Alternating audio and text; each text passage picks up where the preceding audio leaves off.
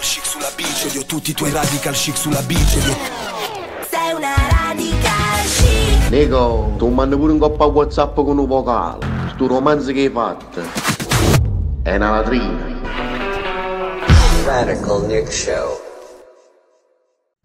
Buonasera, buonasera a tutti, bentornati. Una nuova puntata di Radical Nick, un nuovo lunedì insieme all'insegna della cultura, una stagione, la, la sesta, che eh, va via via eh, concludendosi. Avremo ancora questo lunedì e il prossimo da, da, passare insieme qui sulle frequenze virtuali di Radio Brown the Rocks e quindi ho preparato due ospiti assolutamente speciali. Quello di eh, questa sera ehm, è, è, un, un nuovo carnista, insomma uno dei, dei tanti novocarnisti che, che abbiamo avuto, insomma tutti voi ricorderete da Alessandro Alessandro Pedretta, a, a, Stefano Spataro, Gianni De Martino e non solo, ma eh, parliamo di un nuovo carnista di, eh, di prestigio, grande autore, edito appunto dalla nuova carne che ora è anche eh, casa editrice, lo sappiamo, l'abbiamo detto, parlo di eh, Alessandro Manca, eh, autore di Uccello nel guscio, la letteratura beat italiana. Questa è una grande antologia e io saluto il suo autore. Ciao Alessandro, benvenuto a Radio Brown The Rocks.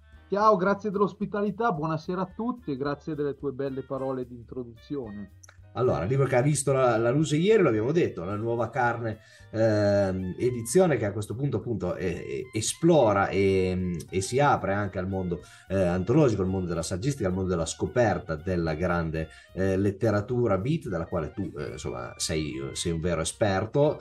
Eh, come prassi da queste parti lascerei che fossi tu a, a, introdurci la tua opera perché è un'opera complessa, è un'opera che eh, ha una fase di studio eh, molto ampio e molto importante dietro di sé e, e che è il culmine appunto di, di anni e anni eh, di lavoro su un argomento veramente affascinante. Prego Alessandro.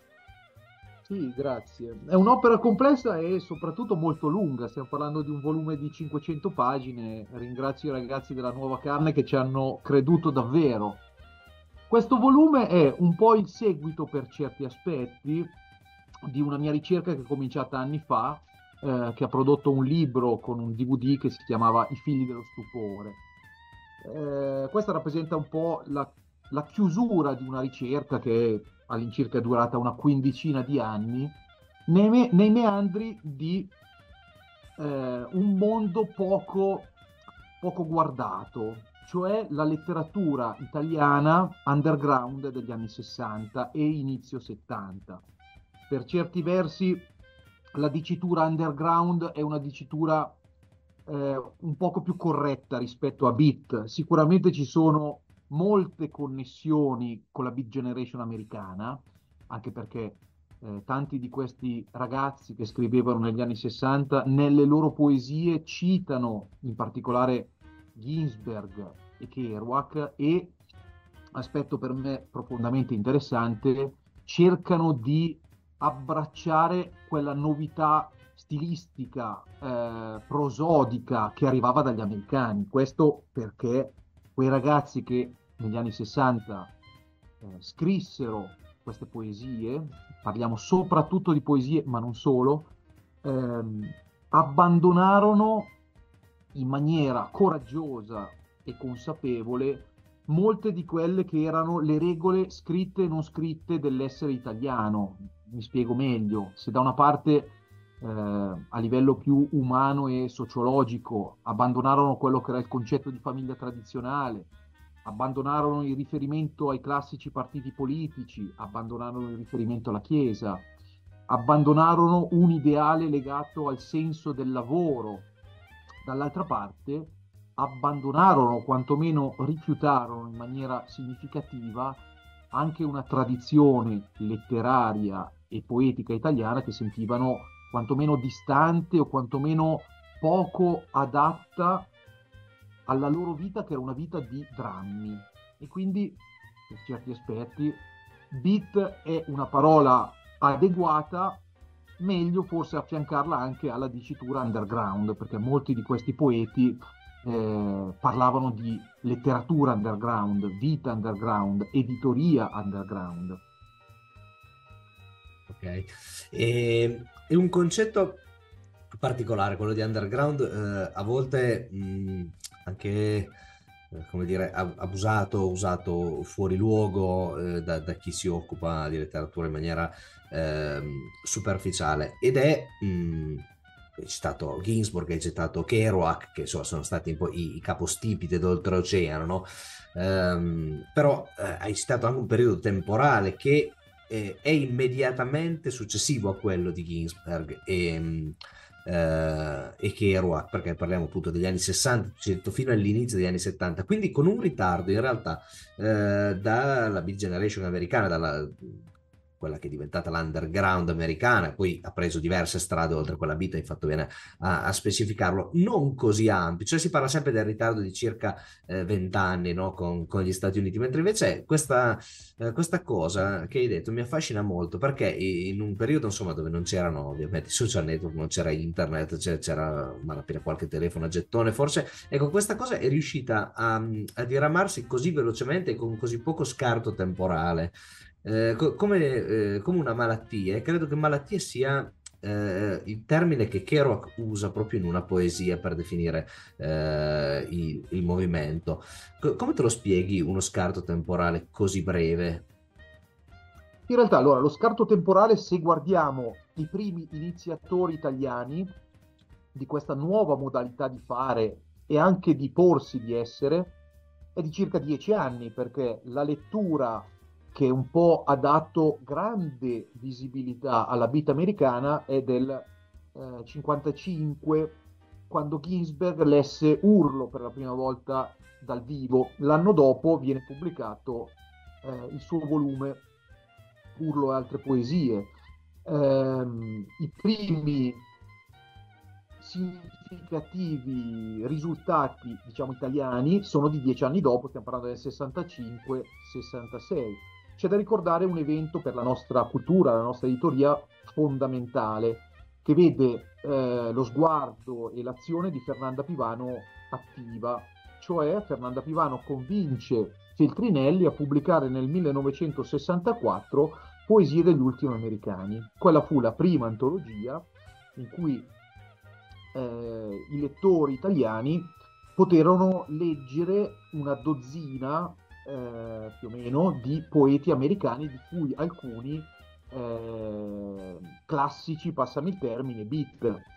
Questo evento, con anche la pubblicazione di Sulla strada, eh, fece sì che i lettori più attenti che cercavano qualcos'altro, cercavano in qualche modo delle nuove fratellanze eh, diverse dalla cultura molto eh, letteraria italiana e io qui uso la parola letteraria con un senso di pesantezza, con un senso di rigidità, trovarono questi volumi, in particolare quello che ho citato prima, pubblicato da Feltrinelli, eh, Poesie degli ultimi americani. Senza quel volume pubblicato nel 1964 probabilmente eh, ci sarebbe stata una, una storia un po' diversa, perché molti di quei poeti che ho conosciuto, come anche Gianni Milano di Torino, eh, mi hanno raccontato dal vivo quanto fu importante quel volume e anche quanto fu importante per chi abitava nel nord Italia il rapporto sia dal vivo sia attraverso delle lettere cartacee con Fernanda Pivano. Questo rapporto che ehm, in qualche modo allargava le prospettive dell'Italia in bianco e nero degli anni 60, perché non dimentichiamocelo, il 68 non è ancora arrivato e solo due o tre anni prima lo scenario nazionale eh, nostrano era profondamente diverso, era profondamente in bianco e nero, con anche eh, pochissimi spiragli per un adolescente, se non quelli imposti tutto sommato da una società tradizionalista. Quindi queste, queste operazioni editoriali e di fatto il lavoro culturale di Fernanda Pivano fu decisivo. Aggiungo un'ultima cosa che riguarda qualche anno successivo rispetto agli inizi del, del, nostro underground, Fernanda Pivano fu l'animatrice con Allen Gisberg e molti altri di Pianeta Fresco. Quindi questa, diciamo, connessione Stati Uniti d'America e Italia vide anche un frutto di una rivista molto importante e, portata avanti anche con altissima qualità grafica rispetto alle fanzine in cui scrivevano altri ragazzi italiani, che sancisce anche di fatto questa fratellanza di intenti, di modalità e anche, diciamo, di cultura in, sen- in senso ampio del termine. Ecco, tu eh, hai fatto bene a citare tra l'altro eh, Gianni Milano che è autore anche della prefazione de, di Uccello eh, nel guscio. Ehm, hai usato un termine che eh, ha stuzzicato la mia curiosità e mi ha portato a fare un paio di ragionamenti in questi eh, minuti, perché eh, ci hai detto un genere di rottura con l'Italia profondamente letteraria del- dell'epoca e poi hai usato la parabola del, del bianco e nero, no? Ecco, eh, tu hai eh, avuto la, la possibilità, la fortuna di eh, incontrare alcuni eh, protagonisti de- della, let- della letteratura, de- del movimento underground italiano, quelli che chiaramente eh, sono ancora, sono ancora in vita, se non, se non sulla scena letteraria. Ecco, co- com'è stato, la- o meglio, non tanto l'approccio, perché ehm, diciamo tra, tra simili ci si riconosce, mi verrebbe da dire, ma com- come è stato accolto, ecco, in, in un uh, paese che eh, forse sì, aveva già voglia di cambiare, lo hai detto, era prima del 68, ma era comunque un paese profondamente tradizionalista eh, in, sue, in alcuni suoi strati in alcuni eh, aspetti della società profondamente bigotto, eh, ancora confuso forse da, dagli echi del dopoguerra. Ecco, co- come è stato accolto eh, il, il movimento underground? Allora, di fatto non è stato accolto. Provo a spiegarmi meglio. Se da una parte alcuni poeti che stavano intraprendendo una nuova esperienza ehm, con il linguaggio, ebbero delle reazioni anche da parte del- delle autorità pubbliche, dei tribunali, assolutamente chiare eh, di censura. Per esempio, questi poeti, sulla scorta anche di alcune poesie eh, del volume citato ehm, dell'antologia del 64 pubblicata da Feltrinelli con i poeti beat, iniziano a inserire nei loro testi quelle che erano considerate delle parole vietate. Queste parole sono delle parole assolutamente di uso comune oggi, come cazzo, figa, masturbarsi. Questo portò a dei veri e propri processi per delle poesie pubblicate su fanzine che avevano una distribuzione assolutamente non, non ufficiale anche con dei numeri eh, relativamente bassi rispetto a- alla cultura italiana. Dall'altra parte non vi è stata una seria riflessione da parte degli uomini eh, che erano un po' a capo del mondo culturale e letterario italiano, se non eh, quello che ha fatto Fernanda Pivano e pochi altri ascoltatori, quantomeno attenti e curiosi. Non vi è mai stato un, un vero dibattito, come invece altre correnti molto più codificate eh, della letteratura, magari la letteratura sperimentale, hanno voluto e saputo creare. Questo anche perché questi stessi ragazzi non hanno fatto dei gesti significativi per aprire un dialogo culturale. Era come se queste persone fossero veramente animate da un aspetto di radicalità che li portava a riflettere, a scrivere e a vivere, ma non a impostarsi all'interno di un discorso culturale pubblico con eh, le autorità che contavano in quel momento a livello culturale. Dall'altra parte, adesso ho parlato un pochino degli aspetti, diciamo, poetici, letterari di questo movimento e nei confronti di- dell'accoglienza.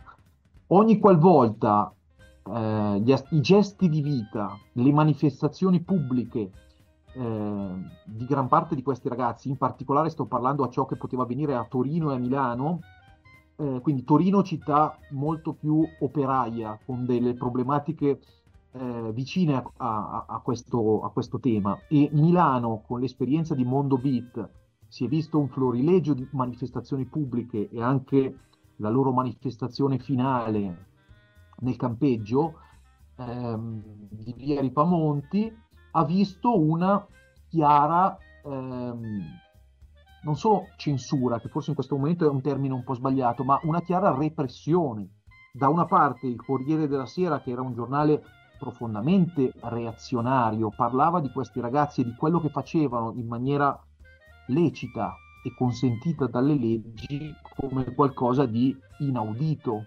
Nei suoi articoli il Corriere della Sera usava delle aggettivazioni per il nostro mondo contemporaneo inammissibili e quando questi ragazzi si fanno vedere nel, nella modalità più pubblica eh, non passano pochi giorni che il movimento tutto è eh, diciamo, fermato con dei tentativi molto molto chiari da parte anche delle forze dell'ordine. Quindi è come se una vera ricezione culturale non ci fu anche per la riottosità e per eh, la tenacia di questi ragazzi che volevano essere e sentirsi parte della loro tribù. Non si pensavano come scrittori che dovessero diventare dei campioni della letteratura. E questa è una grande diversità rispetto ai beat americani. Dall'altra parte, ogni qualvolta vi furono delle manifestazioni pubbliche o uno scendere nelle strade, chiaramente si è sempre visto eh, da che parte tirava l'aria in quel momento storico. Ecco.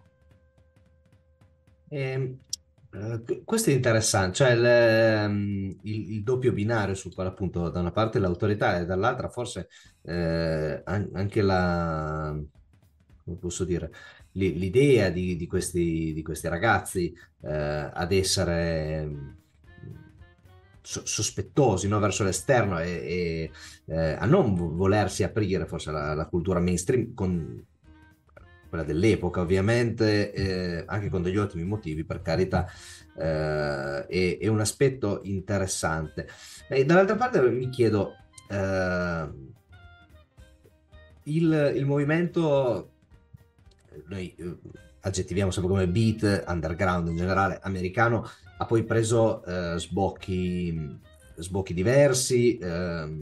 Allen Ginsberg, per, per, esempio, si è avvicinato molto a, a, quella che è poi esplosa nella cultura hippie, eh, Kerouac, ad esempio, eh, pare fosse molto, molto più tiepido. Ehm, insomma, ha, ha preso ehm, affluenti diversi. Il movimento italiano, come ecco, do, dopo gli anni eh, dell'avanguardia, no? dopo gli anni che tu prendi in, in, considerazione, quindi arrivando nei 70, che direzione ha preso poi?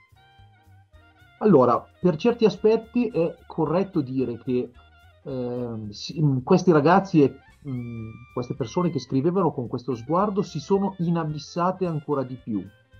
Mi spiego meglio. Se da una parte alcuni hanno preso la via del Nord Africa, per esempio Gianni De Martino con la fine dell'esperienza di Mondo Beat decide di passare una decina di anni in Nord Africa. Dall'altra parte una serie di ragazzi, magari anche vicini a, al movimento underground, iniziano a frequentare, siamo all'inizio degli anni 70, moltissimo l'India. Quindi se ne vanno sostanzialmente da quello che poi diverrà l'Italia degli anni di piombo. Aldo Piromalli continua a scrivere, ma lui già dai primissimi anni 70 si trasferisce in pianta stabile ad Amsterdam quindi da una parte abbiamo una diminuzione significativa delle produzioni underground. Le stesse riviste che prima del 68 avevano una matrice esistenziale letteraria molto significativa spariscono. Eh, rimangono riviste che magari hanno una marca maggiormente sociologica, per esempio, e naturalmente l'Italia di allora è inondata di riviste di matrice politica, questi ragazzi non potevano sentirsi vicini a delle esigenze della gioventù degli anni 70 in cui si discuteva dinamiche e cavilli politici partendo da, una, eh, da un pedigree, da una matrice esistenziale radicale. Per certi versi i nostri non volevano essere degli scrittori, non volevano essere degli agitatori politici puri ed erano di fatto dei veri nipotini di Arthur Rimbaud. Quindi abbracciare la vita e un'introspezione radicale, profonda, destabilizzante per sé e anche per gli altri, però abbracciando la parola, una nuova parola significativa e crudamente sincera. Quel tipo di parola, di fatto di matrice esistenziale letteraria, negli anni 70 non ha spazio. Questi ragazzi, tornando a quello che ho accennato prima, si inabissano ancora di più, continuano a scrivere qualche libretto con delle poesie anche molto importante loro, è pubblicato ancora negli anni 70, però quella risonanza che comunque avevano prima non l'hanno più. Negli anni 60 c'erano dei giornali importantissimi che parlavano di loro, parlavano per denigrarli. Negli anni 70, eh, diciamo, le esigenze di discutere sono legate ad altri temi e anche le esigenze di controbattere degli argomenti sono più legate a dinamiche di matrice politica e non eh, siamo ben lontani dagli interessi e da ciò che innervava e animava queste produzioni del 65, 66, 67. Eh, prima ci hai detto eh, che c'è stato un episodio, un personaggio in particolare, ovviamente Fernanda Pivano, che eh, ha veramente cambiato la storia, cioè senza di lei e, e senza il suo operato, ehm, per quanto riguarda i beat, avremmo eh, una, una storia diversa però ci sono stati, però Fernanda Pivano, grazie a Dio c'è stata, eh, qualcuno ha, ha, ha, creduto nel beat, prima americano, poi italiano. Eh, che cosa ci hanno lasciato? Cioè, che cosa è rimasto di quella stagione magnifica eh, nel, nel 2023? Io credo che ci abbiano lasciato un, un insegnamento di un altro modo di intendere la parola e la letteratura. Oggi, per esempio, vedo che il marketing rispetto a, a, una produzione letteraria, il marketing rispetto a una propria poesia, a un proprio componimento, è più importante dell'opera stessa. Cioè eh, tutto quello che ha a che fare con il rapporto di vita da una parte fra te e l'opera, il rapporto fra te e una tua tribù che ha fatto delle scelte radicali, viene messo meno, viene messo sicuramente in secondo piano rispetto a delle esigenze di visibilità e quantomeno di giocarsela in un orizzonte di marketing.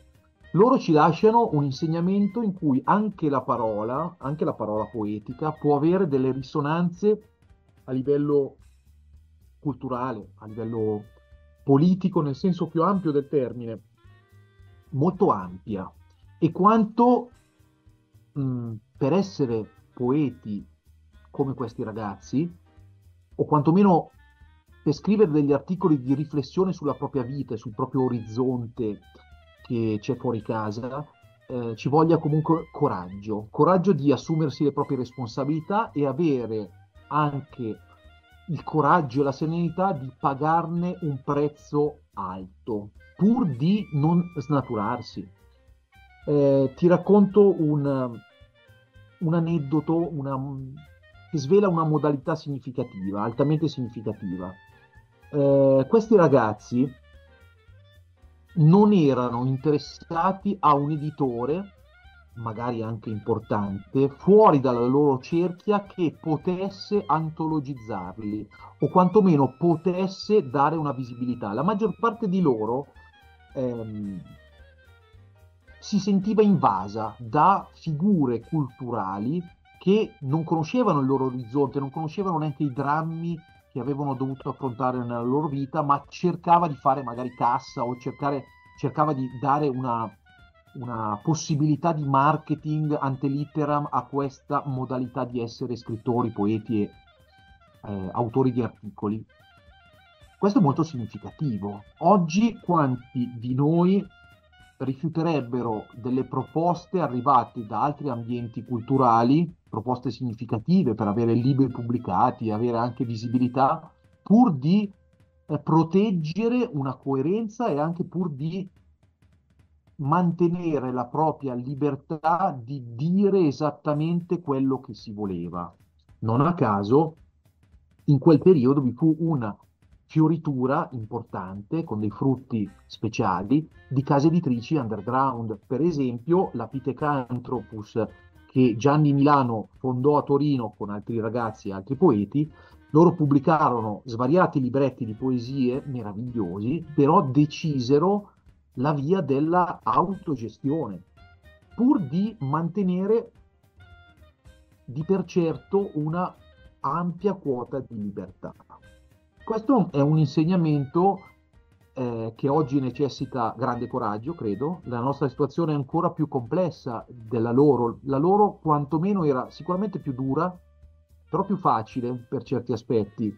Sapevi chi era tuo amico, nel senso ampio del termine, sapevi chi era tuo nemico, nel senso ampio del termine. Nemico reale nelle strade e nemico culturale. Oggi noi viviamo uno scenario molto più caotico. Eh, quindi eh, credo che per essere uno scrittore con la S maiuscola o un poeta con la S maiuscola oggi sia eh, necessario avere ancora più coraggio da una parte, ancora più decisione, ancora più consapevolezza in qualche modo. In, in qualche modo noi stiamo vivendo dei periodi ancora più drammatici, anche se apparentemente molto più zuccherosi rispetto alla loro condizione, anche di povertà fisica, di, di, di incertezze di vita. Noi non abbiamo più queste due ultime cose che ho citato, però le incertezze esistenziali, culturali sono immensamente più ampie. Alessandro, io ti ringrazio mm, infinitamente per la testimonianza che, che ci hai portato eh, qui, eh, insomma, fatto da, da, tramite con tanti autori che, che, sono stati grandi protagonisti di quella stagione.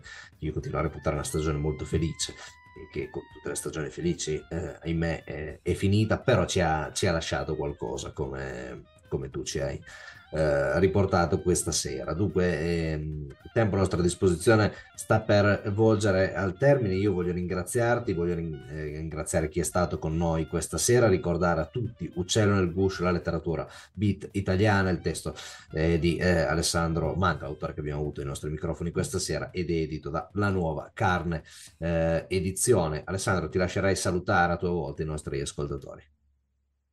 Grazie per questa chiacchierata e grazie a tutti che ci avete ascoltato. Alla prossima. Grazie ancora, tu sai che i, tuoi, i nostri microfoni per te sono sempre aperti. Quanto a noi, ascoltatori, ci sentiamo lunedì prossimo, ancora qui sulle frequenze virtuali di Radio Brown The Rocks, per l'ultima puntata stagionale di Radical Nick. Radical chic sulla bici, odio tutti i tuoi radical chic sulla bici. Sei una radical chic. Nico, tu mandi pure un coppa WhatsApp con un vocale sto romanzo che hai fatto. È una latrina. Radical Nick Show